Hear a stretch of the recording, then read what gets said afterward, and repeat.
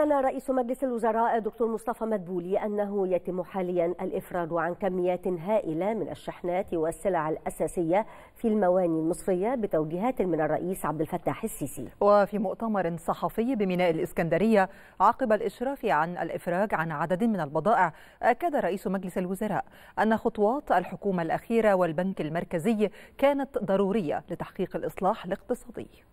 خطوات اللي قامت بيها الدولة المصرية أمس كإجراءات اقتصادية ما بين الحكومة والبنك المركزي دي خطوات كانت مهمة جدا جدا جدا للإصلاح الهيكلي للاقتصاد المصري.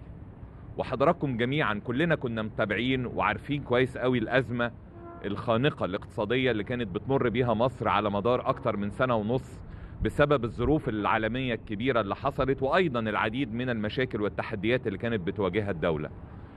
لكن أعتقد النهارده بالخطوات اللي قامت بيها الدولة واللي أهم كان نقطة فيها وكنا كلنا مقتنعين بيها هو توحيد سعر الصرف.